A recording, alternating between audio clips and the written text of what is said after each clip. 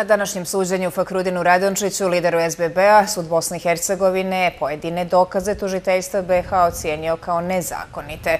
Radi se o tužiteljskim naredbama za vještačanje mobitela svjedokinje Azre Sarića, iskaz inspektora Sipe Irhada Kosa, koji je analizirao podatke iz Sariškinog mobitela, također je proglašen nezakonitim, te je naređeno da bude izbačen iz sudskog spisa. Zabranjuje se tužiteljstvu Bosne i Hercegovine izvođenje ovih dokaza.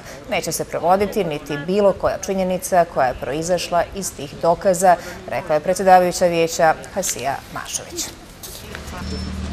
Danas smo imali priliku da se uvjerimo da je sud faktički prihvati ono što je ranije odbrana osnovano ukazivala na nezakonitost dokaza provođenja posebnih istražnih radnji.